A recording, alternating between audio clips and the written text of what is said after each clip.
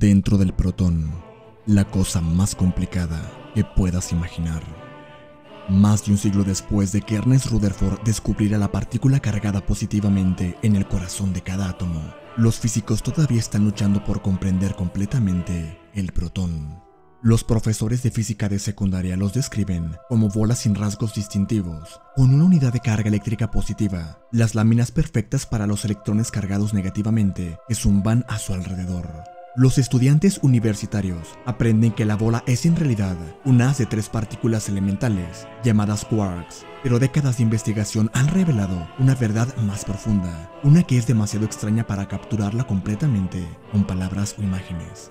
Esto es lo más complicado que puedes imaginar, dijo Mike Williams, físico del Instituto de Tecnología de Massachusetts. De hecho, ni siquiera puedes imaginar lo complicado que es. El protón es un objeto mecánico cuántico que existe como una neblina de probabilidades hasta que un experimento lo obliga a tomar una forma concreta y sus formas difieren drásticamente dependiendo de cómo los investigadores configuran su experimento. Conectar las muchas caras de la partícula ha sido el trabajo de generaciones. Estamos empezando a entender este sistema de una manera completa, dijo Richard Milner, físico nuclear del MIT. A medida que la búsqueda continúa, los secretos del protón siguen cayendo. Más recientemente, un análisis de datos monumentales, publicado en agosto de 2022, encontró que el protón contiene trazas de partículas, llamadas quarks en canto, que son más pesadas que el mismo protón. El protón ha sido humillante para los humanos, dijo Williams. Cada vez que piensas que tienes el control sobre eso, te lanza algunas bolas curvas. Recientemente, Milner, junto con Rolf End en Jefferson Lab, los cineastas del MIT, Chris Boevel y Joe McMaster, y el animador James LaPlante, se propusieron transformar un conjunto de tramas arcanas que compilen los resultados de cientos de experimentos en una serie de animaciones del protón que cambia de forma. La prueba de que el protón contiene multitudes vino del Centro de Aceleradores Lineales de Stanford, SLAC, en 1967, en experimentos anteriores, los investigadores habían hecho experimentos arrojando electrones y los habían visto rebotar como bolas de billar. Pero el Centro de Aceleradores Lineales de Stanford, SLAC, podía lanzar electrones con más fuerza, y los investigadores vieron que se recuperaban de manera diferente. Los electrones golpeaban el protón lo suficientemente fuerte como para romperlo, un proceso llamado dispersión inelástica profunda y rebotaban en fragmentos puntuales del protón, llamados quarks. Esa fue la primera evidencia de que los quarks realmente existen, dijo Xiaoshu Sheng, físico de la Universidad de Virginia. Después del descubrimiento de SLAC, que ganó el Premio Nobel de Física en 1990, el escrutinio del protón se intensificó. Los físicos han llevado a cabo cientos de experimentos de dispersión hasta la fecha. Infieren varios aspectos del interior del objeto ajustando las fuerzas con las que se bombardean y eligiendo qué partículas dispersas recogen después. Mediante el uso de electrones de mayor energía, los físicos pueden descubrir características más finas del protón objetivo. De esta manera, la energía del electrón establece el poder de resolución máximo de un experimento de dispersión inelástica profunda. Los colisionadores de partículas más potentes ofrecen una visión más nítida del protón. Los colisionadores de mayor energía también producen una gama más amplia de resultados de colisión, lo que permite a los investigadores elegir diferentes subconjuntos de los electrones salientes para analizar. Esta flexibilidad ha demostrado ser clave para comprender los quarks que se desplazan dentro del protón con diferentes cantidades de momento.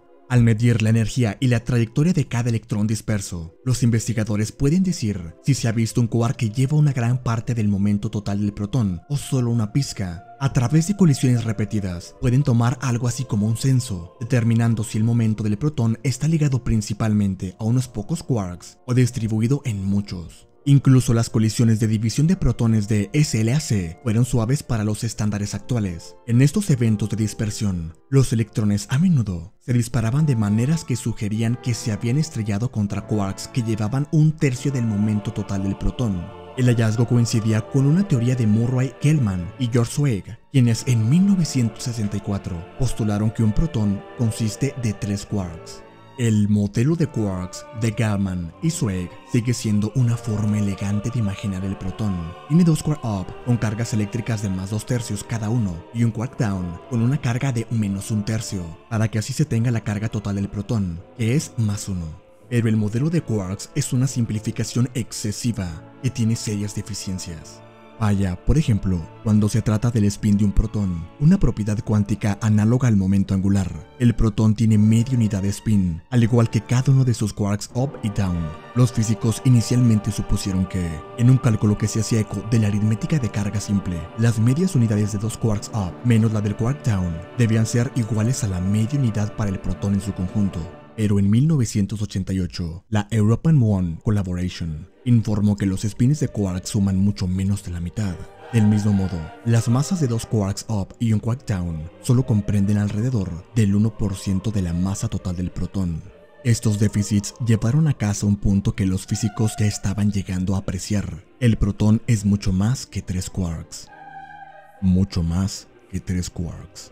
El acelerador de anillo de hadrones electrones era, que operó en Hamburgo, Alemania, de 1992 a 2007, estrelló electrones contra protones aproximadamente 10.000 veces más fuerte que SLAC. En experimentos ERA, los físicos pudieron seleccionar electrones que habían rebotado en quarks de momento extremadamente bajo, incluidos los que llevan tan solo el 0.005% del momento total del protón. Y los detectaron. Los electrones de ERA rebotaron de una vorágine de quarks de bajo momento y sus contrapartes de antimateria, antiquarks. Los resultados confirmaron una teoría sofisticada y extravagante que para entonces había reemplazado el modelo de quarks de Gell-Mann y Zwick, desarrollada en la década de 1970. Era una teoría cuántica de la fuerza fuerte que actúa entre los quarks. La teoría describe a los quarks como atados por partículas portadoras de fuerzas, llamadas gluones. Cada quark y cada gluón tiene uno de los tres tipos de carga de color, etiquetada como rojo, verde y azul.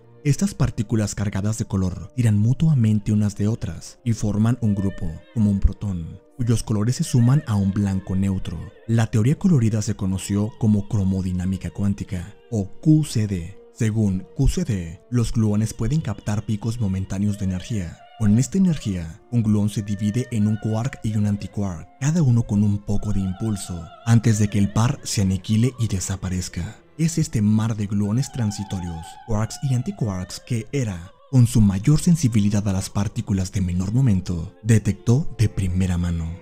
Era también recogió pistas de cómo se fería el protón en colisionadores más potentes. A medida que los físicos ajustaron ERA para buscar quarks de momento más bajo, estos quarks, que provienen de gluones, aparecieron en números cada vez mayores. Los resultados sugirieron que en colisiones de mayor energía, el protón aparecería como una nube compuesta casi en su totalidad de gluones.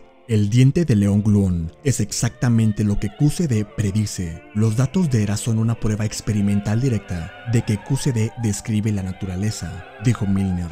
Pero la victoria de la joven teoría llegó con una píldora amarga. Mientras que QCD describió bellamente la danza de quarks y gluones de corta vida revelada por las colisiones extremas de ERA, la teoría es inútil para comprender los tres quarks de larga duración vistos en el suave bombardeo de SLAC. Las predicciones de QCD son fáciles de entender solo cuando la fuerza fuerte es relativamente débil, y la fuerza fuerte se debilita solo cuando los quarks están extremadamente juntos, como lo están en pares quark-antiquark de vida corta. Frank Wilczek, David Gross y David Politzer identificaron esta característica definitoria de QCD en 1973, ganando el premio Nobel por ello 31 años después pero para colisiones más suaves como la de SLAC, donde el protón actúa como tres quarks que mantienen mutuamente su distancia. Estos quarks tiran unos de otros lo suficientemente fuerte como para que los cálculos de QCD se vuelvan imposibles. Por lo tanto, la tarea de desmitificar aún más la visión de tres quarks del protón ha recaído en gran medida en los experimentadores. Los investigadores que realizan experimentos digitales en los que las predicciones de QCD se simulan en supercomputadoras también han hecho contribuciones clave, y es en esta imagen de baja resolución que los físicos siguen encontrando sorpresas. Una nueva vista encantadora Recientemente, un equipo dirigido por Juan Rojo del Instituto Nacional de Física Subatómica de los Países Bajos y la Universidad VU de Ámsterdam analizó más de 5.000 instantáneas de protones tomadas en los últimos 50 años, utilizando el aprendizaje automático para inferir los movimientos de quarks y gluones dentro del protón de una manera que elude las conjeturas teóricas.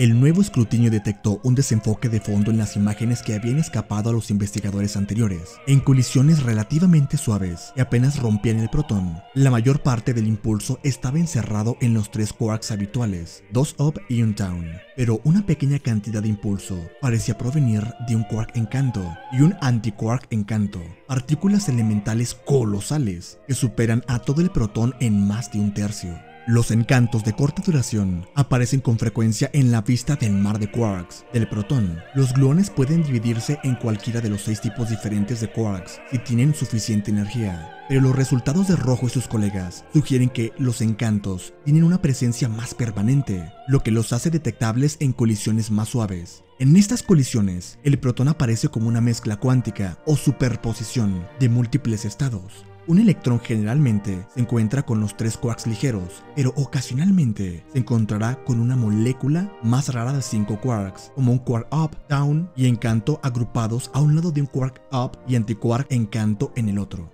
Tales detalles sutiles sobre la composición del protón podrían resultar consecuentes. En el Gran Colisionador de Hadrones, LHC, los físicos buscan nuevas partículas elementales, golpeando protones de alta velocidad y viendo qué sale. Para entender los resultados, los investigadores necesitan saber qué hay en un protón para empezar. La aparición ocasional de quarks encanto gigantes echaría por tierra las probabilidades de hacer partículas más exóticas. Y cuando los protones, llamados rayos cósmicos, se precipitan aquí desde el espacio exterior chocan con los protones en la atmósfera de la Tierra, los quarks encanto que aparecen en los momentos adecuados bañarían a la Tierra con neutrinos extraenergéticos, calcularon los investigadores en 2021. Esto podría confundir a los observadores, que buscan neutrinos de alta energía provenientes de todo el cosmos.